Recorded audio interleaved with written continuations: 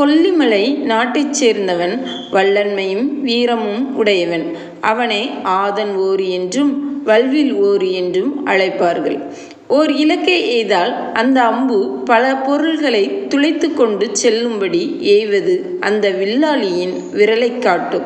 அவ்வாறு அம்பை எய்யும் வில்லை வல்வில் என்பர். அதனால் வல்வில் ஓரி என்று பெயர் வந்தது. பாணன் ஒருவன் தன் மனைவியாகிய விரலியோடும் பல வகை இசைக்கருவிகளை வாசிக்கும் சுச்சத்தாரோடும் தனக்கு உதவி புரியும் கொடையாளிகளை நாடி போய்க் கொண்டிருந்தானாம். அப்போது அங்கே ஒரு வீரனை கண்டான். வீரன் தன் வில்லை வளைத்து ஒரு யானையின் மேல் அம்பினை எய்தான். அந்த அம்பு யானையை கிளை வீழ்த்தியது. அந்த யானைக்கு பின்னாலே அதன் மேல் பாய்வதற்காக ஒரு புலி ஆவென்று வாயை திறந்து கொண்டு நின்றது. புலியின் வாய்க்குள்ளே சென்று அதையும் வாய்த்தது. அதன் உடம்பையும் துளைத்து புறப்பட்டு அங்கே நெஞ்சியிருந்த ஒரு கலைமானை ஊடுருவி அதை உருட்டியது.